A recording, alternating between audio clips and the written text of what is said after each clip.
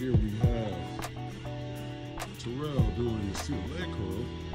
I have him leaning forward to have a little bit more of a pre-stretch at the hamstrings. Right now the machine is lined up pretty well. Nothing too strenuous. Coming with a nice squeeze at the bottom. And this is just really our warm-up set, so he's not going too deep in the set, but you definitely get an idea how to exercise